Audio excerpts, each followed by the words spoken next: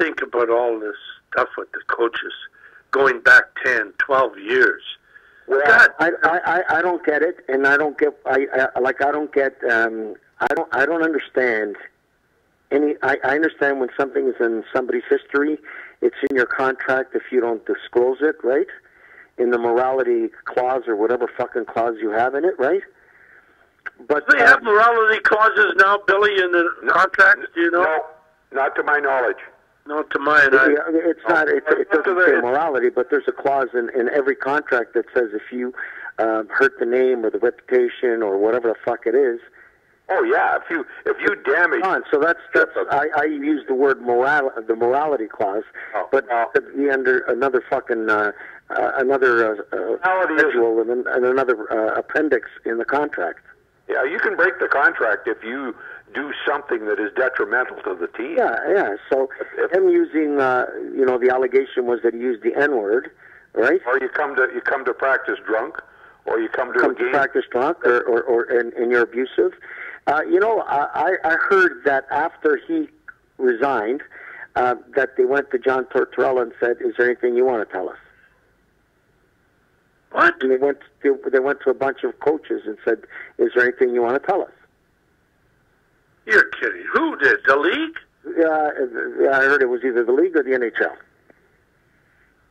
Well, what is Yeah. this? And, and you know, Crawford, Socialism, Crawford, communism, Crawford. Crawford, Crawford's in that bunch. I wish I had a quarter for every time I was called a whopper, spaghetti bender, a guinea, a, a Yeah. mafia, whatever. I would have never. Yeah, yeah, yeah, yeah. But Why? but but, but uh, I, I got to tell you, I got to tell you, seven years ago I was playing in a men's league. Seven or eight years ago, in one of the rinks in Toronto, one of the coaches, one of the refs, called one of the players a greaseball wop. Go back to Woodbridge, and uh, they they came. The leagues came right away. The the owners or the the convener, and they took him off the ice and they fired his ass. And uh, No, I don't agree with it. I don't. it was The one thing I don't agree with it. notice, You can't, you can't take that.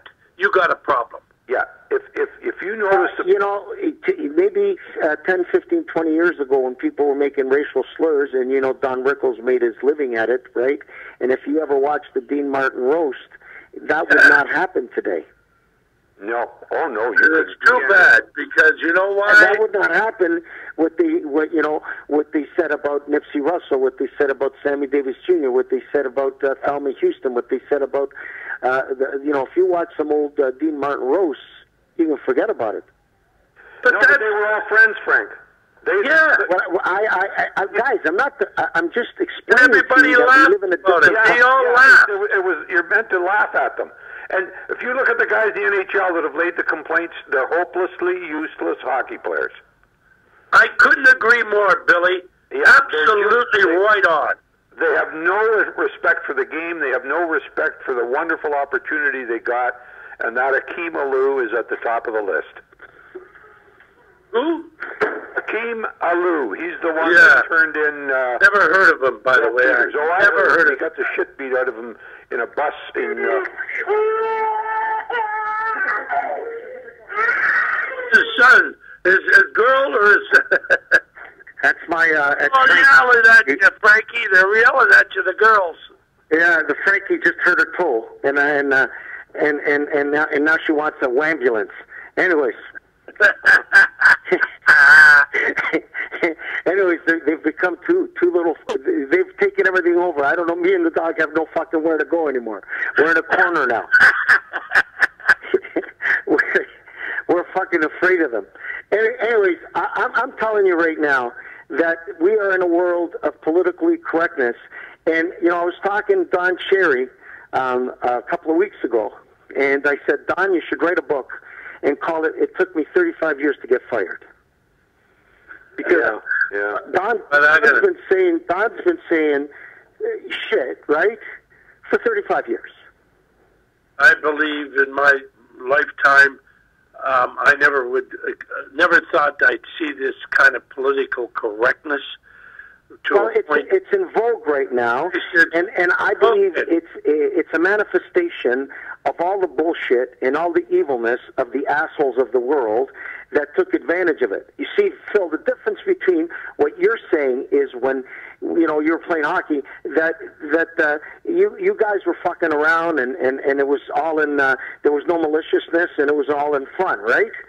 But there there's been people there's been people that have used their power to manipulate uh, women or to manipulate the different races, and and and they're the evil ones.